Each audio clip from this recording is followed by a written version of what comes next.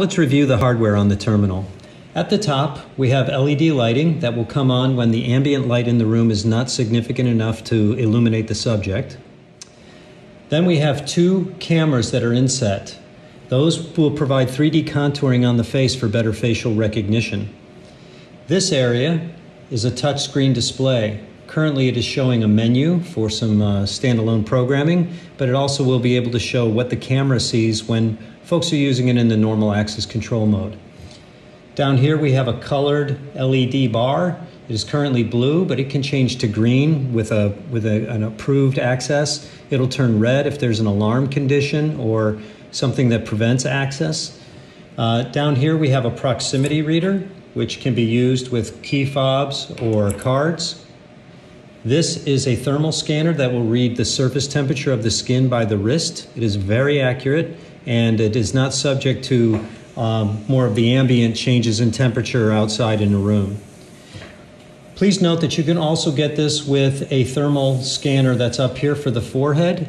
Uh, both of them are available. Uh, this one tends to be a little bit more accurate uh, when you're dealing with extremes such as uh, middle of the winter and you're wanting to take temperature inside a vestibule just inside the first door. Uh, it might be better to be scanning wrist temperature than it would be to scanning forehead temperature. This is an access control lock. This is only used here to demonstrate how we can release a door. In addition to temperature taking, the kiosk has the option to present users with a health screening questionnaire. The customizable questions can have either yes or no answers that help determine if a user is or is not a health risk. Health risks can generate an alert status, and all responses are stored with the user temperature scan for later reporting.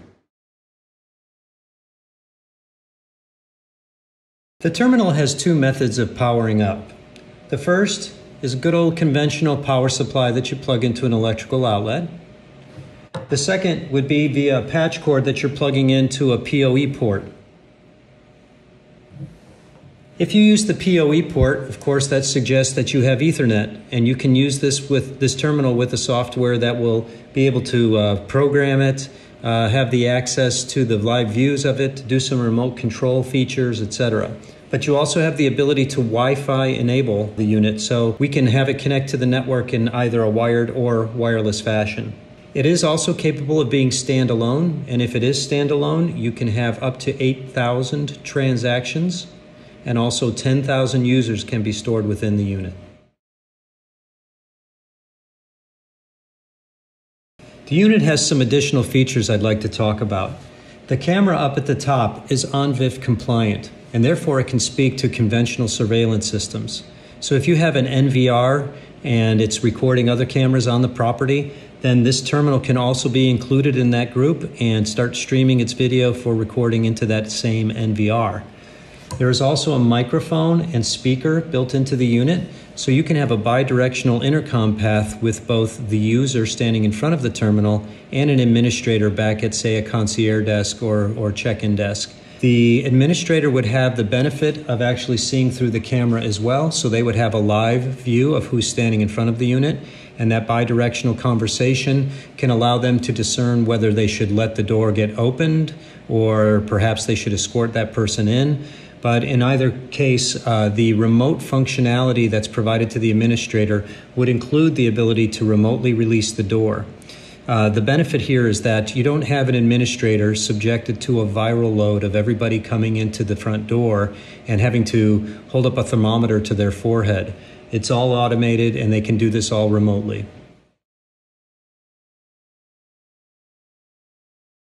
I'd like to talk about the back of the unit for a moment because this is kind of the business end of things. And there are a lot of wires here and it can be intimidating, but it really shouldn't be because this speaks to the flexibility of the system.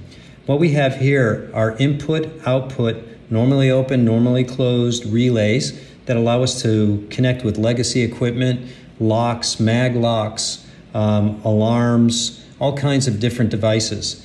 We also have in here a Wiegand input and Wiegand output interface. So that allows us to communicate with access control panels just like we were a conventional reader.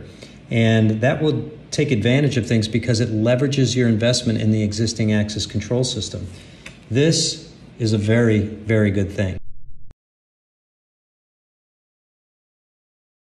Now let's talk about some of the menu items on the terminal.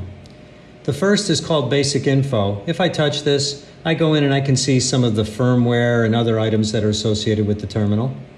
I can go to Device Location, and this will tell me which community it's in, what building it's in, how many units are in the, in the building, and what unit number this is. I can go over to my network settings, and this will let me know if I, or I can change my IP address in here. Uh, so if I want to network with it, I can. I can change passwords in these.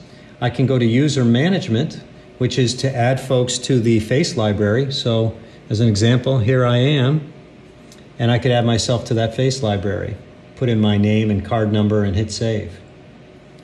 I can change authentication scenes. So let's go into the authentication scene and look at that in more detail. Inside the authentication scene, we can change the way we screen folks.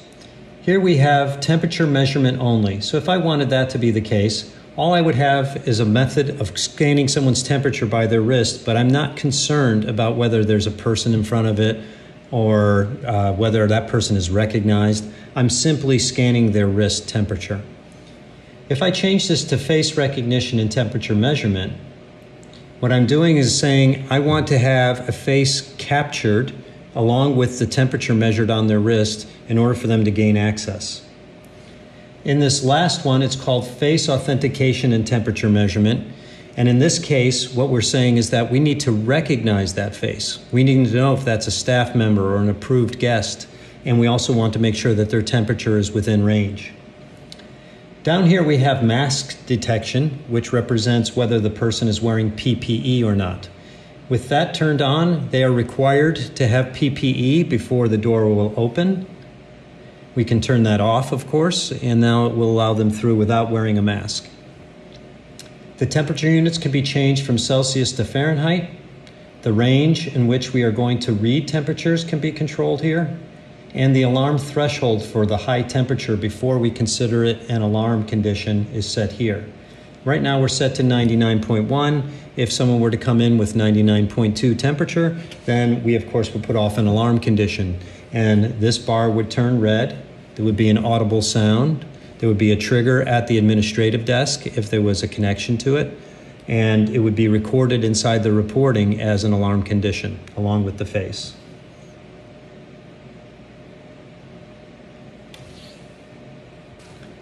This item allows you to control volume inside the box. So if we wanted to raise the speaker or lower the speaker, we can do that and then hit save. And device maintenance allows us to do like a manual restart, um, default the configuration, restore all the factory defaults, etc.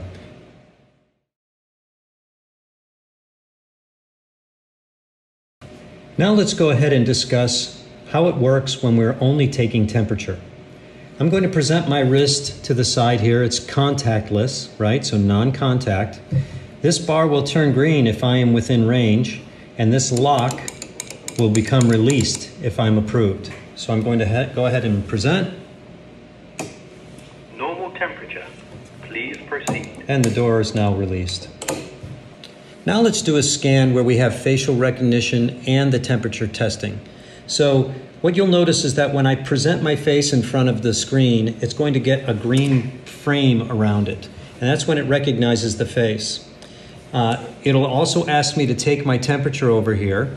And this blue bar, which is currently just blue, will turn green if it recognizes me, or it will turn red if it does not recognize me. This lock will remain locked unless it recognizes me, and if it does recognize me, this will become released.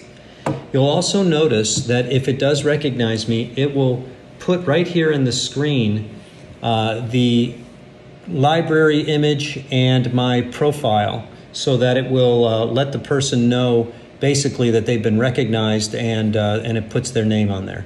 So let's go ahead and try that right now. Verification succeeded. Please check. Normal temperature. Please proceed. Now let's run through an example of taking a temperature scan along with the health screening questionnaire. Verification succeeded. Please measure your temperature. Notice that the questions are on screen now and I can touch responses to those. When I hit OK, they will be stored inside the reporting. Normal temperature. Welcome. Please pass. Now let's go ahead and test the unit when we have the mask detection turned on. In other words, we're confirming that someone has to wear PPE. I go ahead and select that from the menu. I hit save. I hit OK, and I am now back to my normal screen. Hopefully it didn't catch me. and now I'm going to present in front of it, and you'll notice that it will not allow me through, and it's going to turn red here, even though it recognizes who I am and I am in temperature range. Verification succeeded. Please check normal temperature. Please wear Locked. So now let's go ahead and put on some PPE. Present. Verification succeeded. Check temperature. Normal temperature. And you'll notice it released the lock. So the unit is very good at identifying even if someone is wearing a mask. Let's cover all the options for mounting the terminal. You'll notice here we have a desktop unit, and this is very convenient for folks if they just want to put it at a front counter. This is a stand-up pedestal, and on this pedestal we have three access points in the back. We have one at the bottom, so we can hide all the wiring. We also have another mid-range panel here, and then one at the top, so we can also hide more wiring and route things down. Um, this is a powder-coated unit. It is a separate purchase, and it is referred to as a pedestal. And again, this one is referred to as the desktop unit, and there is a third option, which is to mount it on the wall, and there is a wall mount kit for that. Now let's discuss the control software that would be sitting at, say, a concierge desk or a front desk. You can simply click on access control, and you're now looking real time at the actual terminal and what it sees. So I'm waving over to the terminal right now, and it can see me here. Now, I have access to the face library, real-time monitoring, access records. Uh, so right now I'm in real, real-time monitoring, and you're seeing here the date and time stamp and the last temperature of the person that's scanned. So if I were to present again to this unit, we'll see that Normal temperature. Please proceed. Uh, I happen to be the same temperature again, so it didn't change, but I'm still 97.1. Um, and over here, you'll notice that it gave us a real-time post of that event. So you can see that right now we're not in face recognition mode, we're only in temperature taking mode. So it went ahead and took my temperature, and it wasn't trying to determine if I was a staff member or anything. And it said at this time, this is the temperature, and here's the picture of that person that did that and they're considered unknown because there is no facial recognition. But notice here we have a slide bar. And if I slide back up, I'll get up to where I had it turned on with facial recognition. And you can see that it recognized who I was. It said that I'm PM. That's my, those are my initials. And it said I was not wearing a mask. At that time, I had turned on the PPE requirement, so it would report here. And notice it went red because there was no mask. Now let's cover the software that would be used at an administrator's desk, such as like a check-in desk or a concierge.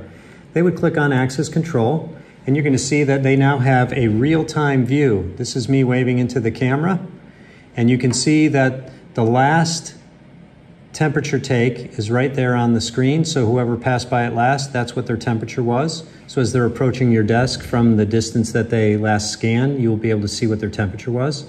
You also see a date and time stamp here.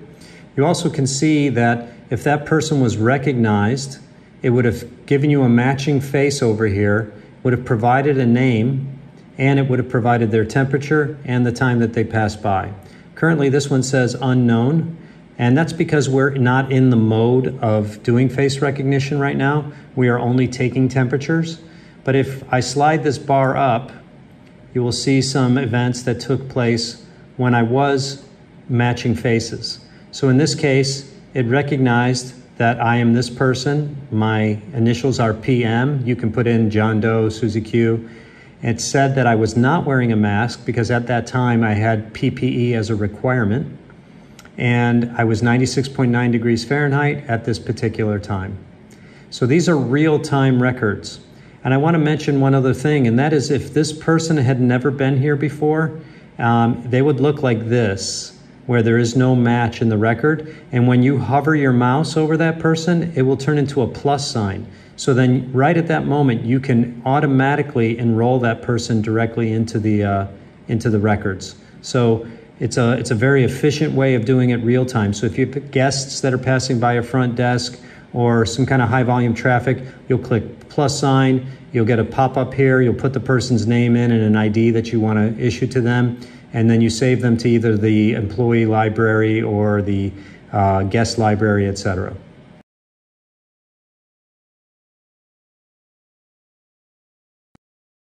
Now let's jump over here to access records. If we click on the records, you can see that we have uh, the ability to filter all of the records that have been happening. So let's look here real quick. You'll notice that we have a date and time stamp, the name of this person, in this case it's PM, uh, the person's ID, if it was an ID card, that would be the ID type that was used, uh, the ID number, were they wearing a mask or not wearing a mask? what was their temperature at the time, and here's the photo that represents them. So this is the library photo as it states up here, and here's the snapshot of them when they showed up. So it is indeed showing that I was wearing a mask. And if we come down a little bit lower, you'll see same person comes by, no mask. So these reports are very easy to work with. You can use status for filtering. You could say, show me all of the um, events that happened when there was no mask.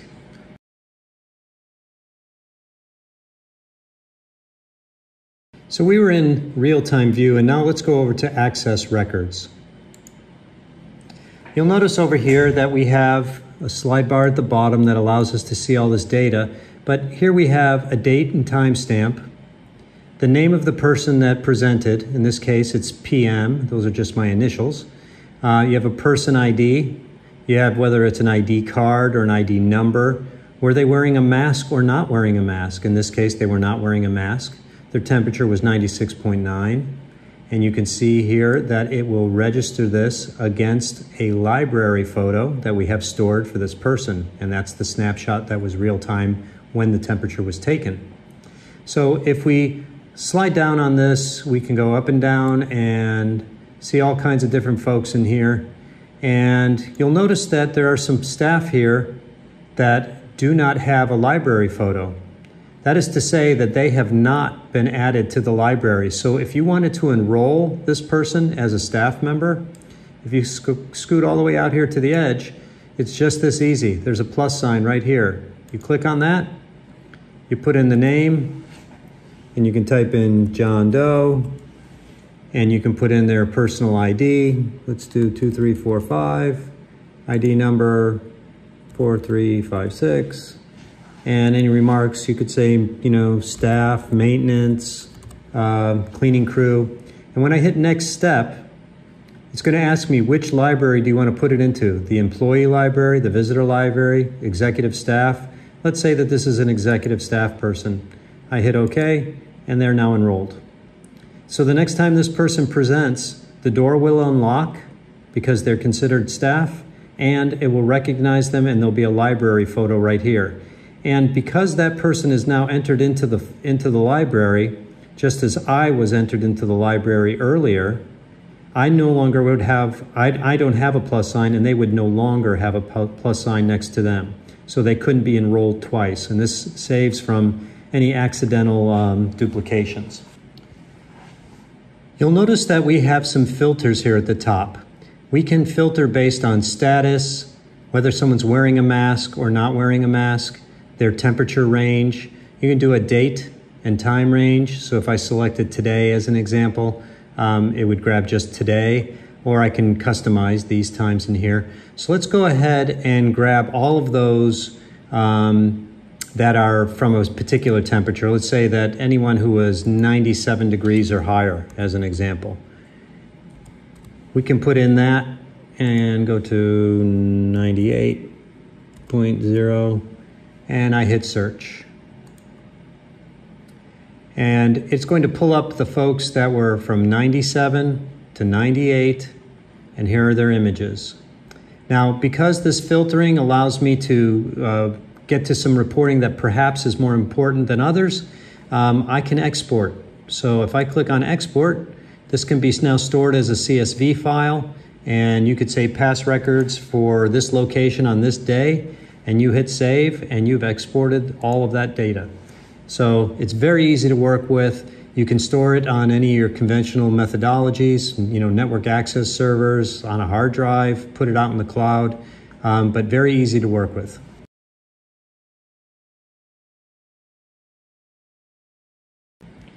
Now let's go ahead and demonstrate some of the real-time controls we have from the live view. This is obviously a live view. I'm in front of the terminal right now. And you can see by, by the palm of my hand that my last scan was 97.1 degrees. Now if I move the mouse here down on top of these icons, I have controls. This one says open door. So right now, if you hear this clicking sound, that's that lock that is closed that I cannot get through. If I click this, Door opened successfully. that, that lock is now released. You'll also notice that the next thing over, I have a microphone and I have speaker. So if I click on the microphone and the speaker, Microphone, speaker. it now has opened up a bidirectional communication path. Apologies for the echo, but uh, proof that it is working. Let's go ahead and turn those off. And you'll notice that we were able to control the interaction with the person at the terminal from a remote location on this particular laptop. So uh, hopefully that explains things, but um, this could be located at the concierge desk, it could be at a front desk, it could be in a back office somewhere. It all will work the same way.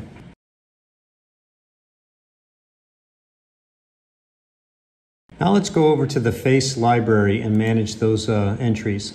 You'll notice here that we have a series of libraries. Right now I'm clicked on the executive staff.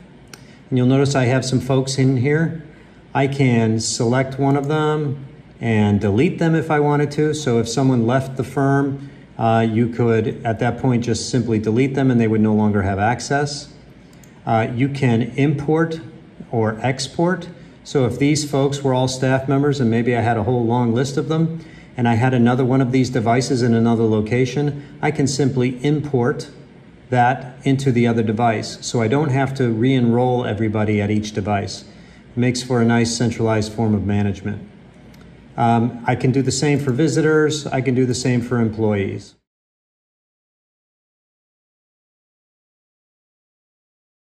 If you notice here on the bottom, it says, please face the camera. This is because it's in face recognition mode. If it were only taking temperature, it would say here, temperature measurement. Notice also we have a space here that's blank. This can be the community logo or some kind of firm logo that customizes this view.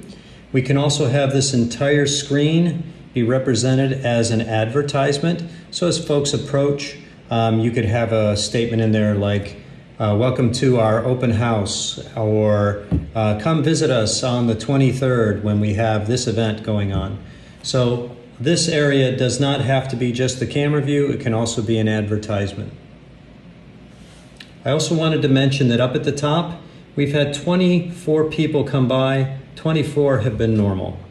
Of those 24, three have been employees, one is visitor, and the rest have been unknown folks.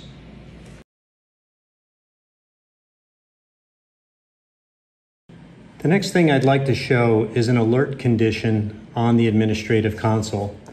So you'll notice over here to the right that my mouse is showing that someone presented who was not wearing a mask and was 101.6.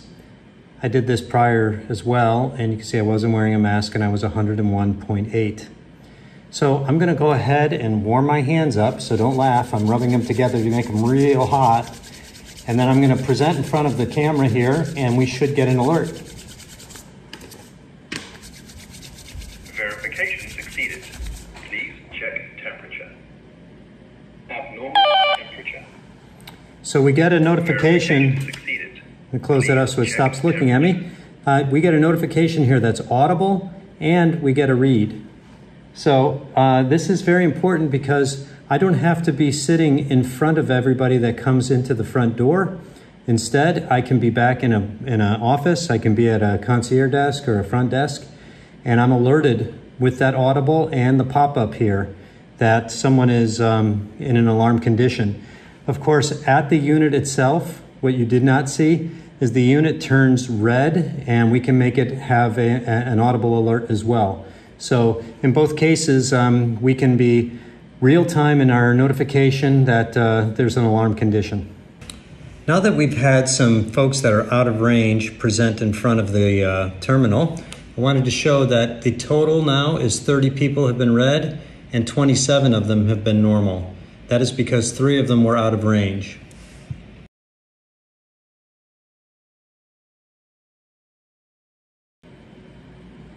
I'd like to indicate that we can go into the system via browser and do some settings changes. So here we are inside a browser and I'm in a segment called personalization. And I'm here to show you that we can customize the logo. So we simply can put the community's logo on the machine by selecting the browse section here, grabbing that uh, logo and putting it in, and it will appear on the front of the terminal. We can also do something called ad mode. So we can change uh, what the front says and it can advertise, say, an open house or some other kind of event that's going to be happening in the community. I'd also like to mention that we can customize all of the audio prompts. So if you would like to have a male voice or a female voice or some additional comfort messages that say, please proceed to the front desk, um, those kind of things all of, all of that is customizable, and we can do that for your community in particular.